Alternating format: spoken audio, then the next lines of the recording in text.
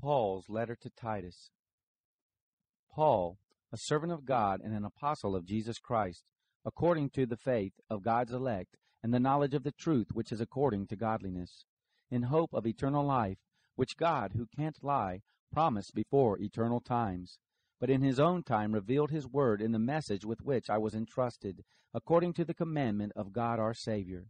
To Titus, my true child according to a common faith Grace, mercy, and peace from God the Father and the Lord Jesus Christ our Savior. I left you in Crete for this reason, that you would set in order the things that were lacking, and appoint elders in every city, as I directed you. If anyone is blameless, the husband of one wife, having children who believe, who are not accused of loose or unruly behavior.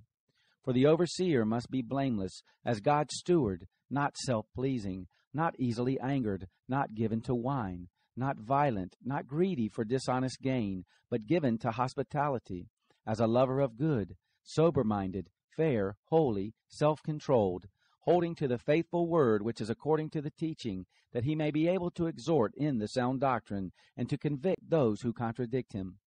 For there are also many unruly men, vain talkers and deceivers, especially those of the circumcision, whose mouths must be stopped, men who overthrow whole houses teaching things which they ought not for dishonest gain's sake.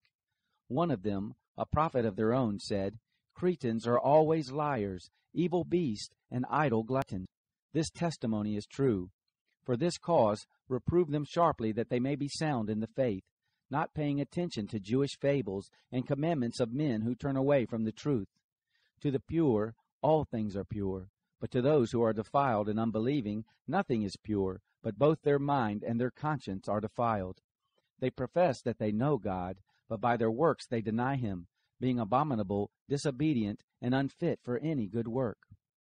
Chapter 2 But say the things which fit sound doctrine, that older men should be temperate, sensible, sober minded, sound in faith, in love, and in patience, and that the older women likewise be reverent in behavior, not slanderers, nor enslaved to much wine, teachers of that which is good, that they may train the young women to love their husbands, to love their children, to be sober minded, chaste, workers at home, kind, being in subjection to their own husbands, that God's word may not be blasphemed. Likewise, exhort the younger men to be sober minded, in all things showing yourself an example of good works, in your teaching showing integrity, seriousness, incorruptibility, and soundness of speech that can't be condemned, that he who opposes you may be ashamed, having no evil thing to say about us. Exhort servants to be in subjection to their own masters, and to be well pleasing in all things, not contradicting, not stealing, but showing all good fidelity, that they may adorn the doctrine of God our Savior in all things. For the grace of God has appeared, bringing salvation to all men instructing us to the intent that, denying ungodliness and worldly lust, we would live soberly, righteously, and godly in this present world, looking for the blessed hope and appearing of the glory of our great God and Savior, Jesus Christ, who gave himself for us, that he might redeem us from all iniquity, and purify for himself a people for his own possession, zealous for good works. Say these things and exhort and reprove with all authority. Let no man despise you. Chapter 3 Remind them to be in subjection to rulers and to authorities, to be obedient, to be ready for every good work, to speak evil of no one, not to be contentious, to be gentle, showing all humility toward all men. For we were also once foolish, disobedient, deceived, serving various lusts and pleasures, living in malice and envy, hateful, and hating one another. But when the kindness of God our Savior and his love toward mankind appeared, not by works of righteousness which we did ourselves, but according to his mercy he saved us, through the washing of regeneration and renewing by the Holy Spirit, which he poured out on us richly through Jesus Christ our Savior, that being justified by his grace, we might be heirs according to the hope of eternal life.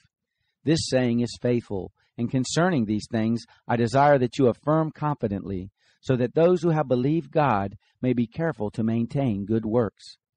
These things are good and profitable to men, but shun foolish questionings, genealogies, strife, and disputes about the law, for they are unprofitable and vain.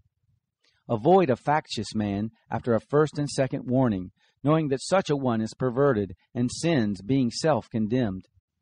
When I send Artemas to you, or Tychicus, be diligent to come to me in Nicopolis, for I have determined to winter there. Send Zenas the lawyer and Apollos on their journey speedily, that nothing may be lacking for them. Let our people also learn to maintain good works for necessary uses, that they may not be unfruitful.